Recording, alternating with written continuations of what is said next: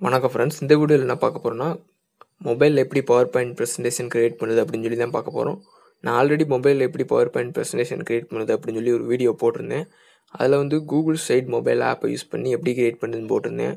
ஆனால் நம்ம இன்றைக்கி எம்எஸ் பவர் பாயிண்ட்டை யூஸ் பண்ணி எப்படி பவர் பாயிண்ட் க்ரியேட் பண்ணுறது அப்படின்னு சொல்லி பார்க்கலாம்.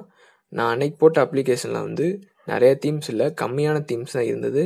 ஆனால் நம்ம இன்றைக்கி பார்க்க போகிற அப்ளிகேஷனில் வந்து நிறைய தீம்ஸ் இருக்குது அதே மாதிரி நம்ம அன்னைக்கு பார்த்த கூகுள் ஸ்லைட் மொபைல் ஆப்பில் வந்து அனிமேஷன் அண்ட் ட்ரான்சிஷன் எஃபெக்ட் இந்த ரெண்டு எஃபெக்ட்டுமே கூகுள் ஸ்லைட் மொபைல் ஆப்பில் இல்லை. ஆனால் நம்ம இன்றைக்கி பார்க்க போகிற எம்எஸ் பவர் பாயிண்ட் ஆப்பில் வந்து இந்த ரெண்டுமே இருக்குது ஸோ இதை எப்படி யூஸ் பண்ணுறதுன்னு சொல்லி பார்க்கலாம் வாங்க. இப்போ வந்து மொதல் வந்து இந்த அப்ளிகேஷனை வந்து இன்ஸ்டால் பண்ணுறதுக்கு வந்து உங்களோட ப்ளே ஸ்டோர் வந்து ஓப்பன் பண்ணிக்கோங்க. ப்ளே ஸ்டோர் ஓப்பன் பண்ணிட்டு எம்எஸ் பவர் பாயிண்ட் அப்படின்னு சொல்லி சர்ச் பண்ணுங்கள் ஓகே இப்போ வந்து ஃபஸ்ட்டாக ஒரு அப்ளிகேஷன் வரும். அதை வந்து இன்ஸ்டால் பண்ணிக்கோங்க. நான் ஆல்ரெடி இன்ஸ்டால் பண்ணிட்டேன். ஸோ அதனால் நான் ஓப்பன் பண்ணுறேன்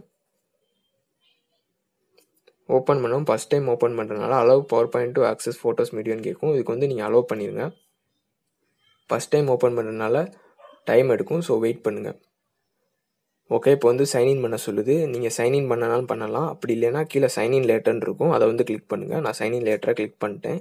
ஓகே இப்போ வந்து எனக்கு வந்து ஓப்பன் ஆயிடுச்சு இந்த அப்ளிகேஷனோட இன்டர்ஃபேஸ் வந்து இந்த மாதிரி தான் இருக்கும். மேலே வந்து ஒரு ப்ளஸ் ஐக்கான் மாதிரி இருக்கும். அதை கிளிக் பண்ணி தான் நம்ம வந்து நியூ ப்ரெசன்டேஷன் வந்து க்ரியேட் பண்ண முடியும். இப்போ வந்து நான் வந்து அந்த ப்ளஸ் ஐக்கான் வந்து கிளிக் பண்ணுறேன் ஓகே இப்போ வந்து ஃபஸ்ட்டு வந்து பிளாங்க் ப்ரெசன்டேஷன் இருக்குது அது என்னென்னு பார்த்தீங்கன்னா எம்டியாக ஒரு ப்ரெசன்டேஷன் இருக்கும். அதில் நீங்கள் வந்து டிசைன் பண்ணி ப்ரெசன்டேஷன் க்ரியேட் பண்ணுற மாதிரி இருக்கும். அப்படி இல்லைன்னா கீழே வந்து நிறையா தீம்ஸ் இருக்கும். அதுலேருந்து நீங்கள் வந்து கிளிக் பண்ணி ஈஸியாக எடிட் பண்ணிக்க முடியும். ஓகே இப்போ வந்து நான் வந்து ஒரு தீமை செலக்ட் பண்ணுறேன் அயன் சொல்லி ஒரு தீம் இருக்குது அதை வந்து நான் கிளிக் பண்ணுறேன் லோடாகி வந்த பிறகு இந்த மாதிரி தான் இருக்கும் அதோட இன்டர்ஃபேஸ் இப்போ வந்து நீங்கள் வந்து மேலே காட்டி கிளிக் பண்ணிடுங்க நீங்கள் வந்து டைட்டில் ஆட் பண்ணுறதுக்கு இந்த இடத்துல வந்து டபுள் டேப் பண்ணுங்கள் டபுள் டேப் பண்ணி உங்களுக்கு வேணுங்கிற டைட்டிலை வந்து அந்த இடத்துல டைப் பண்ணுங்கள் நான் வந்து எக்ஸாம்பிளுக்கு வந்து நம்ம சேனல் பேரை வந்து டைப் பண்ணுறேன் ஓகே இப்போ வந்து நான் வந்து டைப் பண்ணிட்டேன். இப்போ வந்து கீழே வந்து சப்டைட்டில் வந்து ஆட் பண்ணனா அதே மாதிரி டபுள் டேப் பண்ணி ஆட் பண்ணிக்கோங்க. நான் வந்து இப்போ வந்து சப்டைட்டில் வந்து ஆட் பண்ணல. இப்போ வந்து நியூவாக ஒரு ஸ்லைடு வந்து க்ரியேட் பண்ணுறதுக்கு வந்து சைடில் வந்து ஒரு ப்ளஸ் ஐக்கான் மாதிரி இருக்கும். அதை வந்து கிளிக் பண்ணிங்கன்னா நியூ ஸ்லைடு வந்து ஓப்பன் ஆயிரும். அதில் இதே மாதிரி டபுள் டேப் டு டைட்டிலுக்கு வந்து நீங்கள் வந்து ஒரு டைட்டில் வந்து கொடுத்துக்க முடியும். இதே மாதிரி நான் இதுக்கு ஒரு டைட்டில் கொடுத்துட்டேன். அதே மாதிரி கீழே வந்து டெக்ஸ்ட்டுக்கு வந்து நீங்கள் வந்து இதே மாதிரி ஒரு டெக்ஸ்ட்டை வந்து நீங்கள் அடிச்சுக்க முடியும். ஓகே இப்போ வந்து நம்ம வந்து எப்படி டெக்ஸ்ட்டை ஃபார்மேட் பண்ணுறது அப்படின்னு சொல்லி பார்க்கலாம். இப்போ வந்து நீங்கள் வந்து ஃபார்மேட் பண்ண போகிற டெக்ஸ்ட்டை வந்து செலக்ட் பண்ணிக்கோங்க. நான் இப்போ வந்து மேலே வந்து டெக்னாலஜி அப்படின்னு இருக்கிறத வந்து ஃபார்மேட் பண்ண போகிறேன் இப்போ வந்து அதை டபுள் டேப் பண்ணிக்கிறேன். டபுள் டேப் பண்ணவும் அது வந்து செலக்ட் ஆயிரும். இப்போ வந்து கீழே வந்து ஒரு அம்புக்குறி மாதிரி இருக்கும். அதை வந்து கிளிக் பண்ணுங்கள் அதை கிளிக் பண்ணிங்கன்னா இந்த மாதிரி கீழே ஒரு பேஜ் வந்து ஓப்பன் ஆகும். இதில் வந்து ஃபஸ்ட்டு இருக்கிறது வந்து ஃபாண்டு இது வந்து உங்களுக்கு பிடிச்ச ஃபாண்டை வந்து நீங்கள் செலக்ட் பண்ணிக்க முடியும். நான் வந்து இப்போ ஒரு ஃபாண்டை மாற்றிட்டேன் அதே மாதிரி அடுத்து இருக்கிறது வந்து ஃபாண்ட் சைஸ் இது இதுலேயும் நீங்கள் உங்களுக்கு வேணுங்கிற சைஸை வந்து நீங்கள் செலக்ட் பண்ணிக்க முடியும். நான் வந்து ஒரு அறுபது வச்சுக்கிறேன்.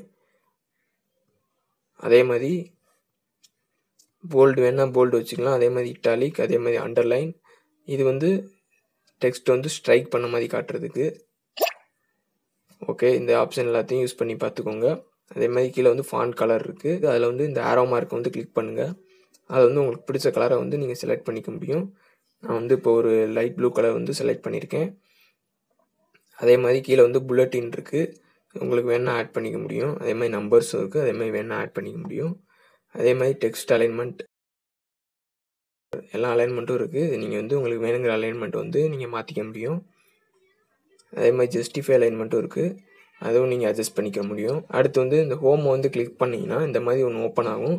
இதில் வந்து நிறைய ஆப்ஷன் இருக்கும். இன்சர்ட் ஆப்ஷனில் வந்து நீங்கள் வந்து slide comment table picture videos audio shapes text box link smart art எல்லாமே ஆட் பண்ணிக்க முடியும்.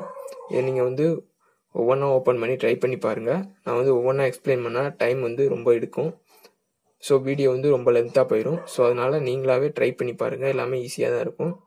அடுத்த ஆப்ஷன் வந்து ட்ரா இது வந்து நீங்கள் வந்து இதை ப்ரெஸ் பண்ணி இது மாதிரி நீங்கள் ஸ்லைடில் வந்து வரைஞ்சிக்க முடியும். அடுத்து வந்து டிசைன் ஓகே இப்போ நீங்கள் எடுத்திருக்க தீம் வந்து பிடிக்கலைன்னா கூட வேறு தீம் கூட நீங்கள் இங்கேருந்தே மாற்றிக்க முடியும்.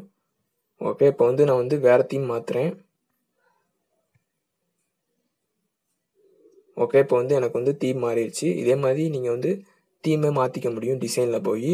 அடுத்து வந்து டிரான்சிஷன் டிரான்சிஷன் வந்து ஒரு ஸ்லைட்லேருந்து இன்னொரு ஸ்லைடு வந்து அடுத்த ஸ்லைடு போகல அந்த ஸ்லைட் அப் அந்த மாதிரி நிறைய எஃபெக்ட் இருக்கும். அதாவது நீங்கள் ஒன்றா வச்சு உங்களுக்கு எது பிடிச்சிருக்கோ அதை வந்து நீங்கள் செலக்ட் பண்ணிக்க முடியும். இப்போ நான் வந்து உங்களுக்கு வந்து வச்சு காட்டுறதுக்காண்டி இந்த கர்டைனை வந்து கிளிக் பண்ணுறேன் இப்போ பாருங்கள் இப்போ வந்து இந்த ஸ்லைடை வந்து நான் இது பண்ணி காட்டுறேன். ப்ளே பண்ணி காட்டுறேன். ஓகே இப்போ பார்த்தீங்கன்னா கர்டைன் எஃபெக்டில் வந்து இந்த ஸ்லைடு வந்து இதாகுது. ஓகே இதுதான் வந்து டிரான்சிஷன் எஃபெக்ட் இது வந்து நம்ம முன்னாடி பார்த்தா கூகுள் ஸ்லைடு மொபைல் ஆப்பில் வந்து இந்த ஆப்ஷன்லாம் இல்லை. இது எம்எஸ் பவர் பாயிண்டில் மட்டும்தான் இந்த ஆப்ஷன் இருக்குது டிரான்சிஷனில் வந்து நிறைய எஃபெக்ட் இருக்குது ஸோ நீங்கள் உங்களுக்கு பிடிச்சதை வந்து ஒவ்வொரு ஸ்லைடுக்கும் தனித்தனியாக செட் பண்ணிக்க முடியும்.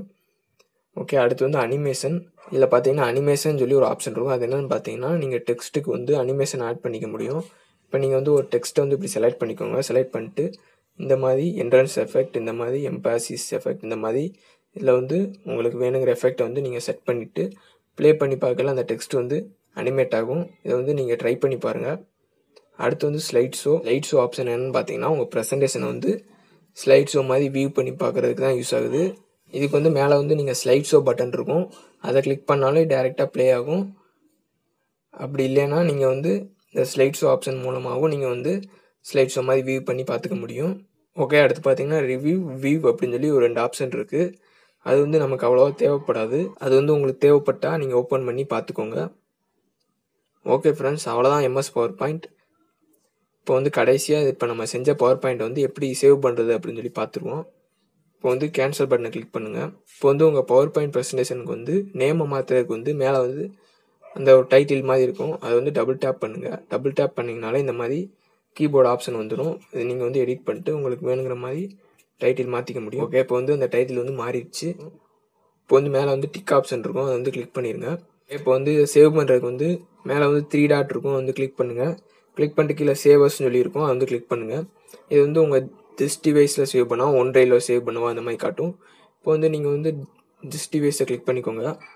கிளிக் பண்ணிட்டு எங்கே சேவ் பண்ணணுமோ அந்த லொக்கேஷனுக்கு வந்து போய்க்கோங்க. இப்போ வந்து நான் வந்து டவுன்லோடில் தான் சேவ் பண்ண போகிறேன் ஸோ டவுன்லோடை கிளிக் பண்ணிட்டேன். கீழே வந்து நேம் அதே இருக்கட்டுமான்னு பார்த்துக்கோங்க. அதே இருக்கட்டும்னா கீழே சைடில் வந்து சேவ்னு இருக்கும். அது வந்து கிளிக் பண்ணுங்கள் இப்போ வந்து இந்த மாதிரி லோட் ஆகும். இப்போ வந்து உங்கள் ஃபைல் வந்து சேவ் ஆயிடுச்சு இது வந்து ஓப்பன் பண்ணி பார்க்குறதுக்கு வந்து உங்களோட ஃபைல் மேனேஜர் ஓப்பன் பண்ணிக்கோங்க. ஃபைல் மேனேஜரில் இன்டர்னல் ஸ்டோரேஜ் போய்க்கோங்க. அதில் வந்து டவுன்லோட் இருக்கும். அது டவுன்லோட்குள்ளே போங்க. டவுன்லோட்குள்ளே போனீங்கன்னா உங்களோட பவர் பாயிண்ட் ப்ரெசன்டேஷன் ஃபைல் காட்டும். அது வந்து நீங்கள் வந்து இங்கேருந்தே வியூ பண்ணிக்க முடியும். ஓகே இப்போ வந்து நம்மளோட பவர் பாயிண்ட் ஃபைல் வந்து சேவ் ஆயிடுச்சு. அவ்வளோதான் பவர் பாயிண்ட் ஃபைல் வந்து சேவ் பண்ணுறது ஓகே ஃப்ரெண்ட்ஸ் நான் வந்து இந்த வீடியோவில் எம்எஸ் பவர் பாயிண்ட் யூஸ் பண்ணி எப்படி பவர் பாயிண்ட் ப்ரெசன்டேஷன் கிரியேட் பண்ணுது அப்படின்னு சொல்லி மேலோட்டமாக சொல்லியிருக்கேன்.